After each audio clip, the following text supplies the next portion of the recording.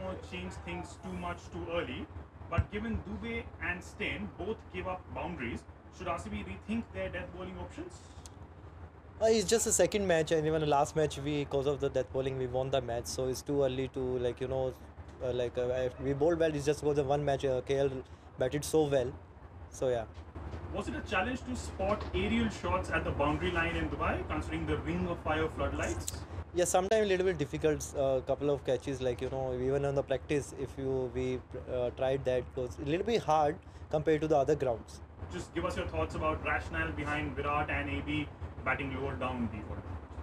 It's nothing. It's just what a team needs, so they always do that. And uh, obviously, like in that over, like if uh, AB sir is there or might be Virat Bhai there, so it's like, good for RCB team batting lineup because uh, we want them to batting too long for us.